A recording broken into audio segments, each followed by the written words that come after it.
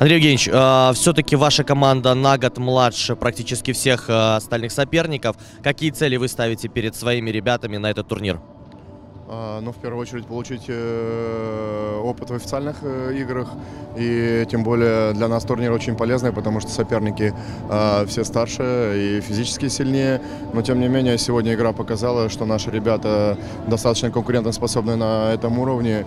И я, честно говоря, по большому счету доволен э, той игрой, которую мы сегодня показали.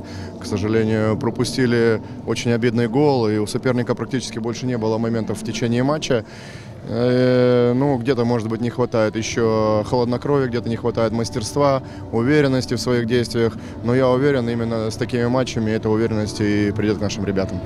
Показало, что структура игры у вашей команды даже была посильнее, и, наверное, тут уже сыграла роль вот эта антропометрия и физические данные соперника. Вам так не кажется? Ну, я бы не сказал, что мы проигрывали большее количество единоборств. В принципе, в этом плане, наверное, более равная игра была. И ну, нужно еще отметить, что мы хорошо там э, разобрали соперника и, в принципе, знали их и сильные, и слабые стороны.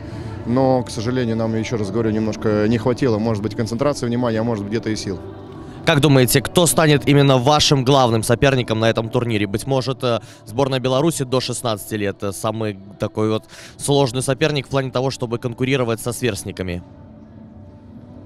Ну, честно говоря, давайте посмотрим. Э, На самом деле, первая игра сыграна, но точки над «и» не поставлены. Все остальные игры покажут, кто будет аутсайдером, кто будет фаворитом.